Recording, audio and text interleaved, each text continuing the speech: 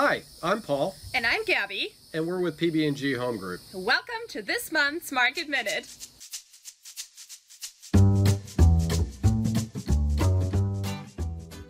Two thousand nineteen is here.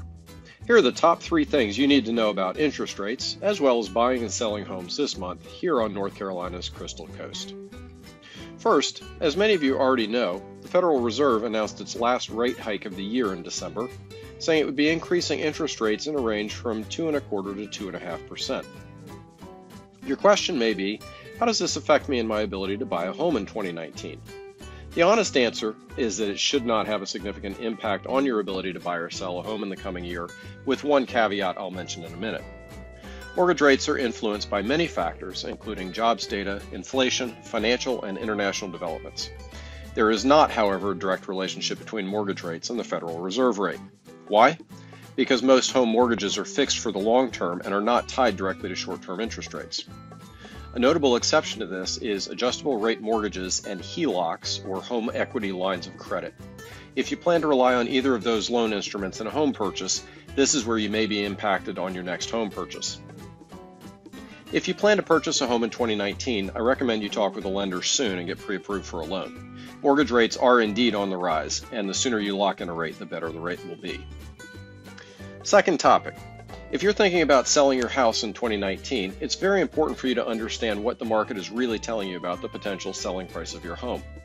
In most cases, the people who hire us to sell their homes are planning on doing something, like moving up, moving down, or even moving out of the area. With every client, we strive to get the highest price for our sellers and finalize the sale in the least amount of time because that keeps the dreams moving and in the long run saves money for our clients. This requires you to have the right information. The right information comes from results. Not what it was listed for, but what it sold for and what, if any, special circumstances were involved.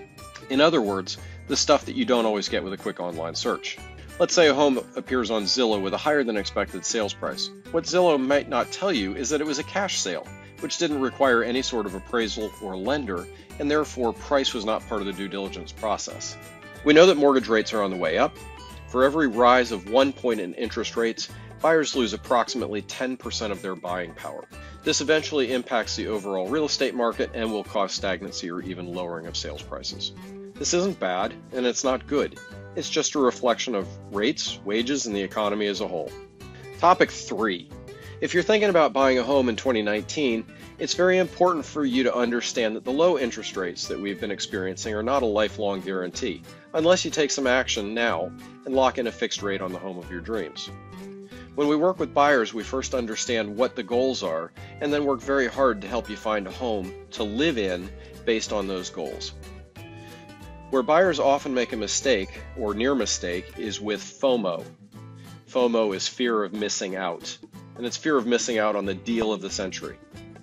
Well, the reality is there aren't too many deals of the century, but there are always great deals out there in the Crystal Coast.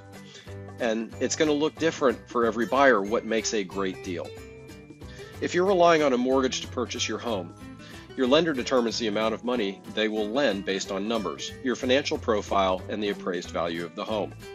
Lenders will look at how much money you earn, how much money you owe, how much money you've saved, and how much you can afford for a monthly house payment, which is determined in part by the interest rate.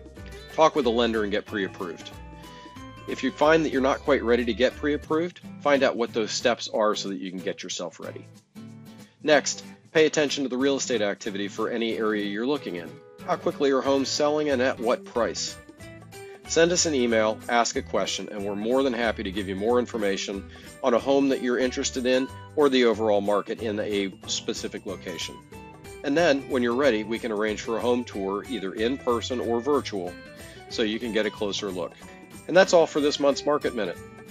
Be sure to visit the website www.pbghomegroup.com or www.findhomesonthecrystalcoast.com for even more information and specific numbers about how many homes are available and sales activity each month.